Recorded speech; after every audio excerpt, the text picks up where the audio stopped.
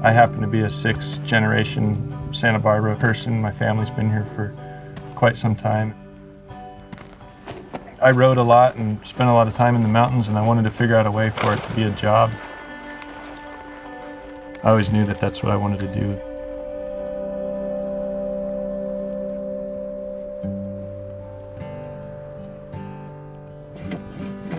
I've been working with Graham since 05, shoeing horses, doing pack trips.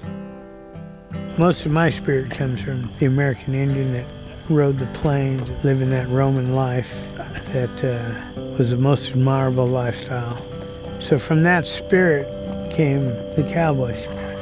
And you know it when you see it. Tony was this real colorful guy and he was always looking for something else to do. His outlet was in the backcountry. He started this company in the late 60s. He started packing stuff in for people and it just evolved into Los Padres Wilderness Outfitters. And it was just the love of the outdoors and it was the love of wildlife. You could take people and introduce them to this backcountry. He wasn't real super educated or anything like that, but he had a ton of experience and he had a huge personality.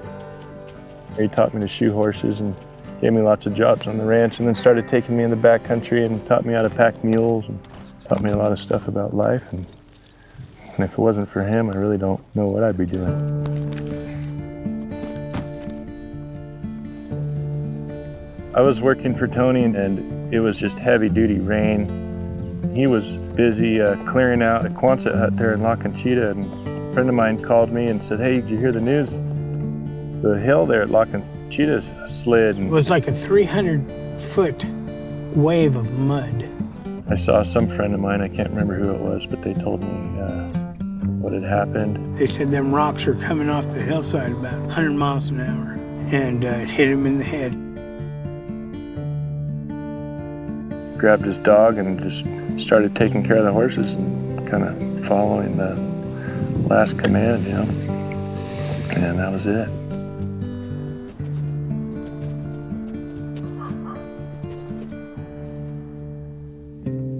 Graham had it in his blood. He was going to be a cowboy.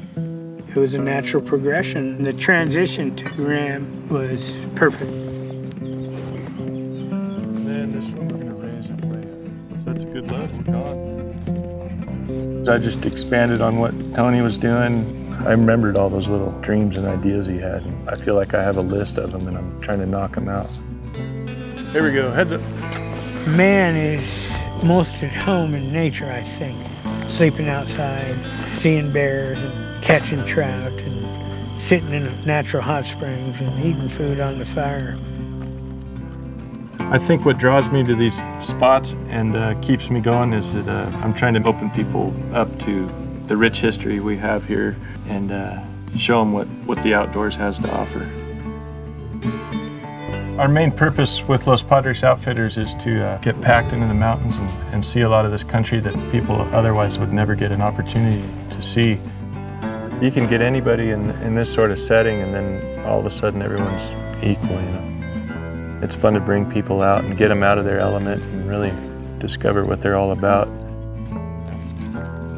So with the Dutch ovens, I always put everything all, you know, do it all together. What's your theory on cooking? my theory. You know, just hot and lots of it.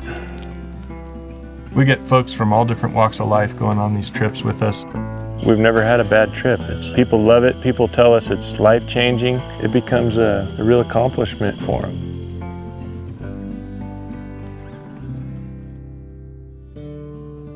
My son Hugo, he just turned four a few days ago and uh, he's into everything I am and it's a lot of fun watching him kind of pick up with what I'm doing.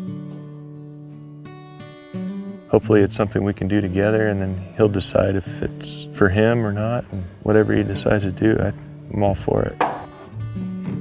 Almost felt you touching me just now. I plan to stick with it forever.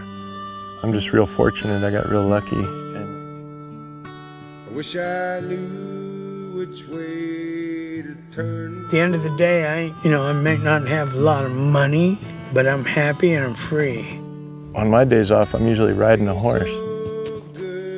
So you do what you love, and when you're not doing it, you find yourself doing it anyways, I guess. Wonder what I ought to do.